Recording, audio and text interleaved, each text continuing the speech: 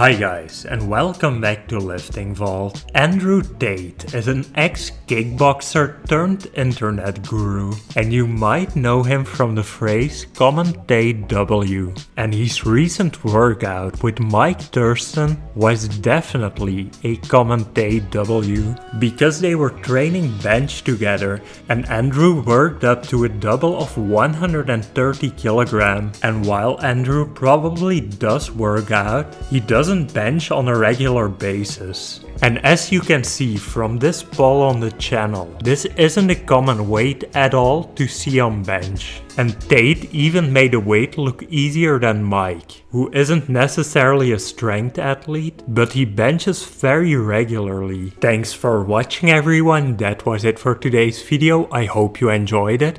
And if you did, don't forget to like and subscribe and check out one of the suggested videos displayed on the screen right now.